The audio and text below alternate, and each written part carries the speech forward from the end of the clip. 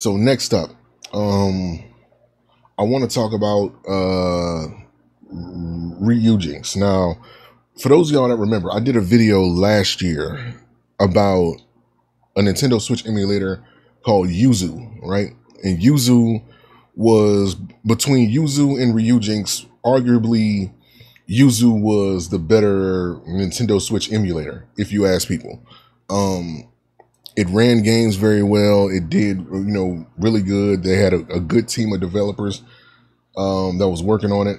It was under the Tropical Haze LLC uh, company, and you know that they were doing, you know, things with it. You know, I, I don't, I don't exactly know what their intentions was, but you know, they were doing pretty good with it, from what I'm to understand. And um, the, the thing that kind of got them caught up because Nintendo, as a company, Nintendo has always been I don't know if I should say overprotective of, or just overzealous with the protection of their IPs or anything like that.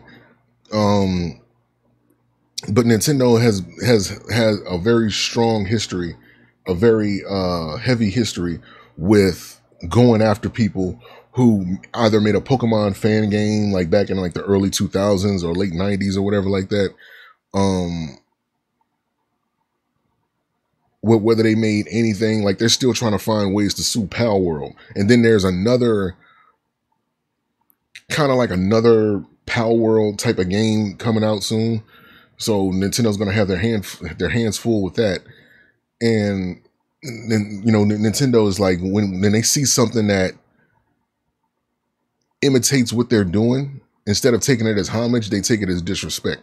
And they try to go straight for the juggler. So with with the issue with Yuzu last year is that uh there was a video game called The Legends of Zelda Tears of the Kingdom.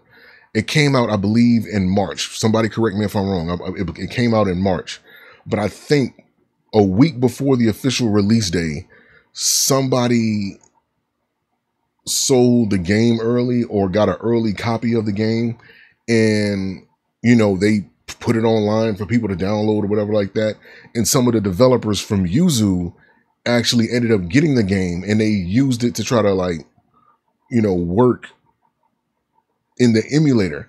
Now, Yuzu had a again, like from what I'm understanding, Yuzu had kind of like a monthly log or like blog where they would talk about the the updates that they made to the uh, or the improvements that they made to the Yuzu emulator, and they would you know talk about you know the changes that they made and the games that they got to work on it, and I believe I, I don't I, don't know if it was at the end of April or the beginning of May of 2023. Um, Yuzu ended up doing a an an update improvement vlog on on the on the Yuzu emulator, and um, they spoke about how they got they pretty much got like Zelda Tears of the Kingdom to work on it. You know, they fixed like some lighting because I read the vlog. Like they fixed some lighting issues, some some fog issues in the game, and you know, somebody from Nintendo seen that, and they were able to backdate it to the er- that early week ahead of schedule and that's how Yuzu ended up getting in trouble. Um, you know, because Nintendo has always been trying to find some way to legally go after Yuzu, but the main thing that they were trying to use against them was they were trying to find a direct line of piracy. Now, the emulators themselves, they aren't illegal, right? Because it's just a program that people made on the computer. It, you know, what, what makes it illegal is what you use it for. Because Sony back in like the 90s, they um sued a company called they sued a company that made an emulator called the Virtual Game Station. And that was like a multi-platform um emulator. I think it ran like the Sega Genesis, Super Nintendo emulators at that time. Um and and of course an emulator that Sony was actually going after them for was the the uh original PlayStation somebody made an emulator of the original PlayStation, and that was in the virtual game station. So at the time, you know, the judge said that the judge that they went to said that the emulator doesn't um, monopolize on their rights. I don't remember the exact words, but basically, Sony isn't losing any money from this emulator being in the, you know, from this emulator existing. So of course, Sony they stopped trying to go after people, and uh, fast forward, you know, even to today, Sony um they actually hired some people that made the PS2 emulator to help them with their like their with uh other games that they have in the future uh to work on the PS5. Like they hired two of the lead developers. I, think the PS2 emulator was called like the PCSX2 and Sony actually hired two of their lead developers to come work for them. You know, so because the way Sony seen it, they were solving problems that they didn't have to invest like hundreds of thousands or millions of dollars for. You know, I think they're trying to work that they're working on like some type of backwards compatibility issues, things like that. So it's crazy that Sony is, was the first entertainment company to sue an emulation company and they hiring and working with the emu- with the emulator developers and Nintendo was going after them. But to get back on subject, you know, Yuzu basically got caught, you know, they got caught trying to pirate the, the, game and that gave Nintendo legal rights to go after them and they did. They shut them down. I think um at the time I think they were getting like Yuzu um they had a Patreon where they were making like $30,000 a month and um I guess the developers were getting paid off of that. Uh in Nintendo when they shut them down, they basically did a one-off uh a, a one-time payment to Nintendo the uh, excuse me the uh, Tropical Haze LLC they did a one time payment uh, for I guess damages or whatever of like 3.5 million. They paid that off and you know they just been off the emulation scene ever since. But Ryujinx was the other emulator that for the most part was foolproof because one there was no direct line of piracy being used with the Ryujinx emulator. The developers never endorsed it or tried to get like early copies of the game or anything of that uh, uh, anything of that sort. So therefore, it was immune to Nintendo's legal actions. You know, like trying to get sued or anything like that. But a few days ago, it was uh, posted. I believe it was the the the head of uh the Ryujinx emulator, as you see right here. Let me expand it. Um, you see right here, it was on Reddit that the that the that the head developer J excuse me GDK Chan uh, he was contacted by Nintendo and offered an agreement to stop working on the project, remove the organization and all related assets he's control he's in control of, while awaiting confirmation on whether or not whether he would take this agreement. The organization has been removed, so I think it's safe to say what the outcome is, rather than leave you with the only panic and speculation, I decided to write this short message to give some closure. These words are my own. I don't want to speak for anyone else here, so just remember that while reading. Thank you to everyone who has contributed code, documentation, or issues or issue reports to the project. Thank you all for following for, following us throughout the development. I was able to learn a lot of really neat things about games that I love, enjoy them with renewed qualities and in unique circumstances. And I'm sure that I'm sure you all have experiences that are similarly special. I'm extending my own massive thanks to our moderation team who have been through some circumstances, who have been through some rough circumstances and always found a way to make light of it. So that was uh, RIP and Perry Perry uh, speaking for uh, um, GDK Chan. Excuse me.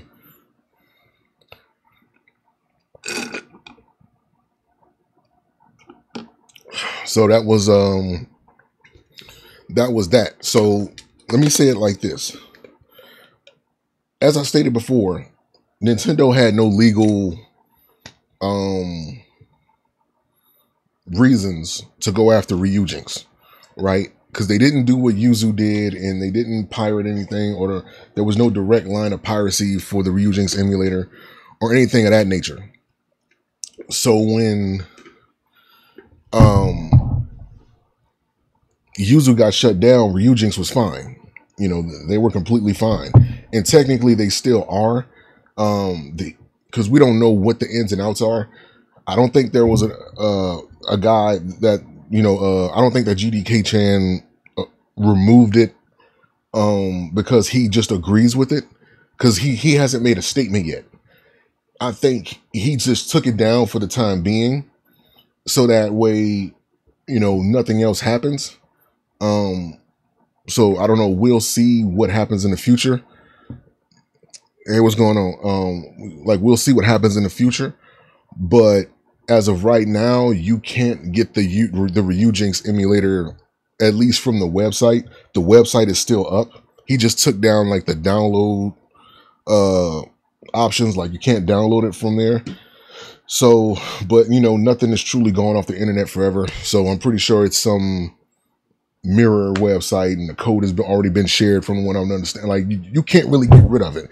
Like for example, like when the Yuzu emulator got taken down off the internet, like three more emulators popped up right behind it. So you know what I'm saying? So so Nintendo has to play whack-a-mole all over again with like three different emulators that is based off of what Yuzu was doing. And if Ryujinx is actually gone from the internet for good, I'm pretty sure it's going to be like more emulators that pop up, you know, mimicking what Ryujinx did. It's just, you know, you can't really get rid of any of this stuff. You know, I think what Nintendo's tried to do is that, as far as with Ryujinx, they tried to intimidate them. Because, like I said, legally they didn't have any, they didn't have any legal grounds to sue them per se it was more so like again when you read it it says that it was an agreement to stop working on the project. You know they didn't say they were going to sue them. They it was nothing like that. They, they said it, it was an agreement offered an agreement. Whatever that offer was I, I, I can almost guarantee you it was more of like it was more it was less of an agreement and more so of an ultimatum. Like if you don't do this we'll go after you. Even though we don't have legal reasons to go after you we'll go after you and we'll, we'll get you so tied up in litigation that you won't have money or resources to do anything else. It was almost like a mob hit uh, kind of like a mafia threat you know what i'm saying? Like so that's what i believe happened but we'll see in the future if you know if gdk chan decides to say anything. Um but as of right now this is the status of the Ryujinx emulator. Um, I, I tell people that, you know, if you're for emulation, don't be sad. This feeling for Nintendo is not shared throughout the entire video game world. You know, as I stated before, Sony actually works with the emulator developers and uh and Microsoft, you know, they don't go after people that's emulating like older consoles and things like that because those companies they they're not as overzealous as Nintendo is. Nintendo is so protective, uh, so overly protective that you know it it could be seen as like you know disheartening at times. You know, because when you have fans that you know been that been playing your games for like since they were kids and they got old enough to try to make a, a, a fan version of that, a fan version of what you did. Um, they find things that they don't like about the original game and they try to improve on it with a fan game. And instead of taking that inspiration and making your games better, you go after them, you know, so it's kind of disheartening. So we'll see what happens in the future. Like I said, with Ryujinx, um, if we hear anything, uh, but as of right now, it is unavailable to download anywhere. And, uh, you know, um, as far as Nintendo goes, you know, because I heard they're even going after people that's making YouTube videos on how to get like the, the, like the Super Nintendo emulators running and things like that. And when when it gets to that point, it's like Nintendo they're kind of going crazy because how old is the Super Nintendo? How long has it been, you know, before they stopped mass producing Super Nintendo consoles and Nintendo 64 console? You know what I'm saying? It's like they just literally just going after anybody at this point. And I, I think part of that reason, in my speculation, is because they couldn't sue Palworld and they trying to like, you know what I'm saying, get their get back. I would not be surprised if Nintendo had like a war room at Nintendo's headquarters. Like they just had a war room and they're just trying to strategize how they can intimidate people from even remotely, you know what I'm saying, trying to do like a fan game or whatever. You know, if if, if them going after Palworld was a fail, then they're going to go after somebody else because in the eyes of the public, the the video game developers of Palworld or other other people who Nintendo couldn't go after, they ended up getting a win. So Nintendo didn't want that, so they went straight after the the other guy. So which was Ryujin. So and they just offered him like a mob style agreement. You know, either you stop doing this or you're gonna wake up with a horse's head in your bed next, the next day. So that's all that, it, that that's all it sounds like to me. You know, so again, once again, we'll see what happens with it. If, you know, this is really the end for Ryujinx, I'm pretty sure other emulators are going to pop up. You know what I'm saying? Because somebody's going to pick up the torch and run with it. You know what I'm saying? It's not, um, like somebody's going to pick up the the torch and run with it. It's not going to, it's it's not going to end well. Another factor, and then I almost forgot this: the Switch Two is coming out, right? So Nintendo going after Ryujinx, a piece of me is kind of wondering just how much of a change the Switch 2 is going to be from the original Switch. Because if the Switch 2 is using the exact same assets in um, hardware that the original Switch is using, technically they can make Switch the Switch a like a current generation console, and that would make them able to go after Ryujinx or you know what I'm saying anybody doing doing that. But on the downside, if you're not actually giving us a new console with updated, you know, graphics cards and hardware and you know what I'm saying, a new experience cuz when the Switch came out, it was already like a generation or two behind. So we're hoping that the Switch 2 is like current gen. But knowing Nintendo's history with consoles, it's not going to be that. You know, it's it, it's going to be slightly updated, like um, slightly updated Switch. So I don't I don't know, but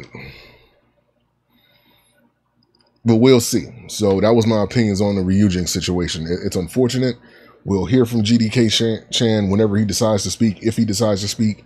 If not, then I'm pretty sure other people are going to make other Switch emulators and decide to move on and work on them. And then Nintendo is going to be doing this nonsense all over again. So it's really a, a loss, loss for them. But I don't know. We'll see. But yeah, that's Ryujinx.